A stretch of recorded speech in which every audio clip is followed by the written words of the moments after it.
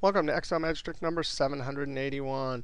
Hey, if you want to download this workbook, Excel Magic Trick 779 to 786, click on the link below the video. Hey, in this video here, we want to do three-way lookup. Property 1, Section 6 in May, we need to return this value. The, the complication here is normally if we had a table like this, it would be two-way lookup. We'd look up the section from here, and we'd look up the month from here we'd say, hey, it's in row 6. Hey, it's in column 5, and we find the intersecting value. But now we have an extra. In essence, one, I'm sorry, one, two, three-way lookup. There's three criteria. Uh, now, we could just add an extra column and join these two columns using concatenation. But if you didn't want that extra column, that's where the single cell formula will work. And the idea, again, is if I go to um, property 1 section 2, and then I want to see February, right? The intersecting value should be that right there. So here's what we're going to do. We're going to use the index function, index. Index is a lookup function, and the array has to be a two-way table. Now, one way means if I just highlight this, there's only one column and many rows. If I highlighted it like this, there's one row and many columns. But as soon as you highlight a range that has two directions, meaning more than one row and more than one column, this array is two-way. And that's what index is so brilliant at. We're going to give it a row number and a column number, and it will find the intersecting values. For example, right now we need 1, 2 row, 1, 2 column, and it would know. All right, comma. Now, it's easy to look up relative position. So the relative position of February in this list is 2. The relative position of property 1 section 2 in this list is 2. Right? So row number, column number, yes, we need to put the right number into row number, column number uh, argument for index, but we can use one function called match. Match looks up the relative position of an item in a list.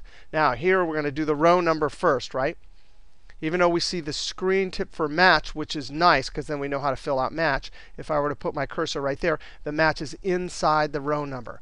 Now here's the complication. We have two values. But that's not really a complication because we can join these together. So for the lookup value, remember I need to look up through this column and find both of these and tell me the relative position. I'm going to click there and use the ampersand. Shift 7. That's the join symbol, and join these together. So what we've done is we've taken two criteria and created a single criteria. Now, you can highlight this and hit the F9 key. That's evaluate. No way. There it is. From 2 to 1. Now we have one item to look up. Now, comma. Lookup array. Well, here's the problem. This has to be a one-way array and we have two columns. But no problem, we use the same trick. Highlight and Shift 7, join symbol, and highlight two columns. Now, we can easily prove ourselves that this has from two columns become one when I hit F9. You could see here it says property 1, section 1. Semicolon means go down to the next row. Property 1, section 2. Absolutely beautiful from two columns to one. Now, when you join two columns like this, you have jumped into the realm of array uh, formulas because we're actually doing some sort of calculation on arrays instead of single cells. So we're going to have to enter this formula in a special way. Array formulas are awesome. They just take an extra keystroke when you enter them in. All right, so that's the array comma, and we're doing exact match because we're looking up words that are not necessarily sorted. 0, close parentheses. All right, now, the beautiful thing about screen tips, once you complete your match, you see that's the row number. Now I type a comma to get to column number. And this one's straightforward. We say match. I'm looking up this, comma, relative position within this list right here. Right now it would deliver a 2. Look up array, comma, and the match type is 0 again. Match type close parenthesis. Now, with close parenthesis, that's the column number, close parentheses. Now, if I hit enter like we normally do, it gives us a value error because this is an array formula. We've done an operation on two arrays. So instead of enter, you have to hold Control and Shift together and then hit enter. Control Shift Enter is you telling Excel I've done an array formula. And those curly brackets, which you can't type in, are Excel telling you, hey, I understand you did an array formula.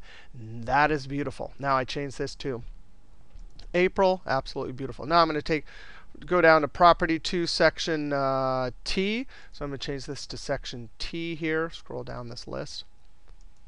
Oh, I get an NA, and the reason why is because it's not finding a match for property 1 section T.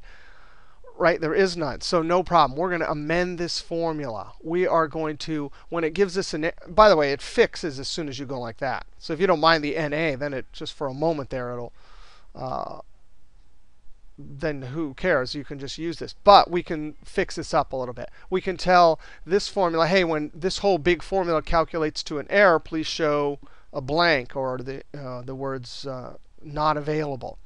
We're going to use the if error. If error function. This is new in 2007. In earlier versions, you had to use this whole thing and list it twice inside of an if, right? And so uh, if error allows us to only list it once, which means it calculates faster.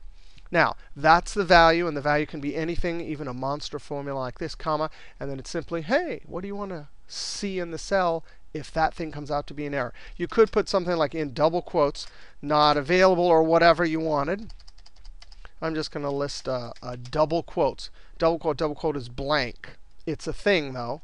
Close parentheses on that, and if I hit enter, I'm going to get a blank because I haven't control shift enter. So I'm going to control shift enter. There's my 632. Now, when I accidentally scroll up and I'm thinking I'm going to uh, property 2, section 2, there is none. But as soon as I do this, there we have it. All right, so that's a three-way lookup. Uh, if you download the workbook, you can see this conditional formatting. You can highlight this range and go up to conditional formatting. Uh, manage rules. I have some videos at YouTube if you search for conditional formatting whole row or whole column or conditional formatting intersecting value. I have some tricks on that. All right, we'll see you next trick.